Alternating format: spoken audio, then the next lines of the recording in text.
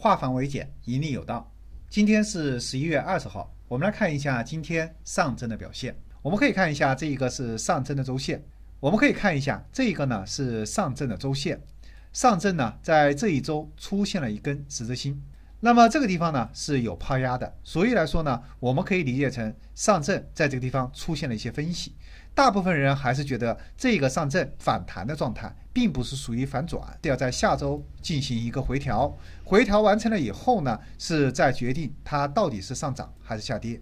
大概率呢是要补一下前方的缺口，补了缺口以后呢，站稳了这个区间，再来确定最终上涨的目标。在这里呢，我们还是给大家推荐一只股票，是制造起航、信创行业的股票。那么这家公司呢，是我国网信产业科技创新的大型央企和龙头企业。其次呢，这家公司最近呢，提升了长期的竞争力，并且呢，毛利率也在不断的改善。然后它在技术形态上面呢，出现了底部放量的一些信号。那么我们完全可以抓住这只股票，让它利润奔腾。